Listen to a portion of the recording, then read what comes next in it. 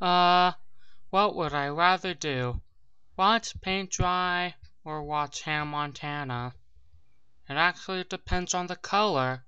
If it's purple, then anything's better than the color purple. Ooh, but if it's green, then that's a whole different story. Signing off.